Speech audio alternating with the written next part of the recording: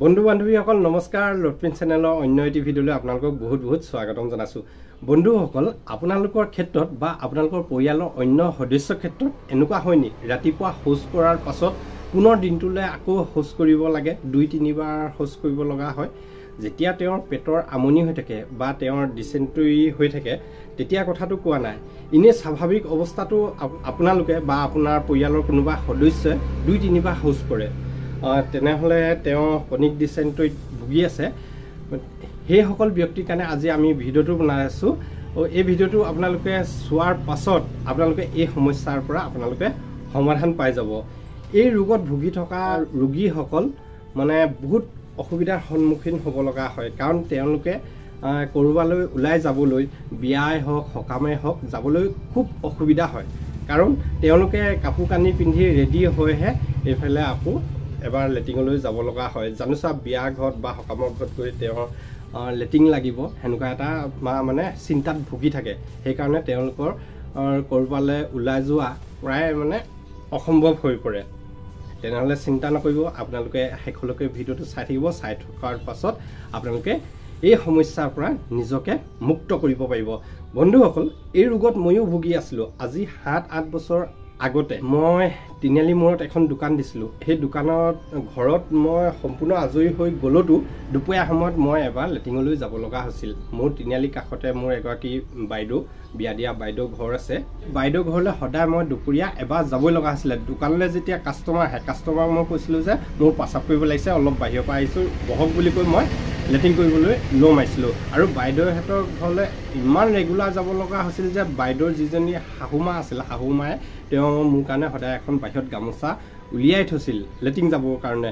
আৰু মানে তেওঁলোকে যদি ক'ৰবালৈ যাব লগা হয় গেট তলা মাৰি থৈ গ'লোঁ আমুকত চাবিটো থৈ দিছোঁ তই আহি আহি আহিব পাৰিবি বুলি মোক ফোন কৰিও কৈছিলে। অতি মানে এতিয়া লাজ লগা কথাই তথাপিতো মানে কৈছোঁ আৰু আপোনালোকক। মই যে এই ক্ষেত্ৰত ডাক্তৰী চিকিৎসা কৰা নাছিলোঁ এনে নহয়। মই ডাক্তৰী চিকিৎসাও কৰিছিলোঁ কিন্তু সুফল পোৱা নাছিলোঁ। এবাৰতো মোৰ মেডিকেলত দেখুৱাবলৈ যাওঁতে মোক চিটো দিছিলে। চিট দিলত মানে মোক মেডিচাইন আনিব দিলে।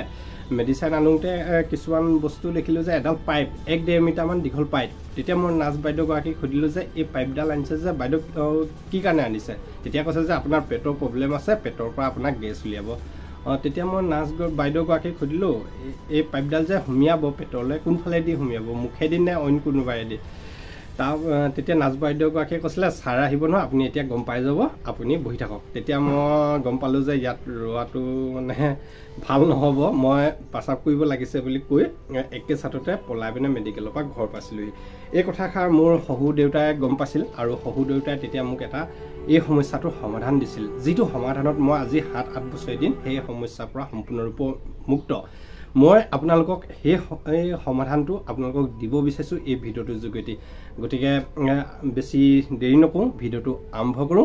আৰম্ভ কৰাৰ আগতে আপোনালোকৰ অনুৰোধ আপোনালোকে যদি ইউটিউবত মোৰ ভিডিঅ'টো চাই আছে আপোনালোকে নতুনসকলে ছাবস্ক্ৰাইব কৰি দিব আৰু যদি ফেচবুকৰ পেজত চাই আছে ফ'ল' কৰি দিব। কাৰণ আপোনালোকৰ লাইক আৰু ছাবস্ক্ৰাইবৰ কাৰণে আমি ভিডিঅ'বোৰ বনাওঁ। তেনেহ'লে ব'লক আমি ভিডিঅ'টো আৰম্ভ কৰোঁ। বন্ধু বান্ধৱীসকল এই সমস্যাৰ পৰা আমি সমাধান পাবলৈ বাবে আমাক কটকোৱা গছ লাগিব? এইজোপা হ'ল কটকোৱা গছ?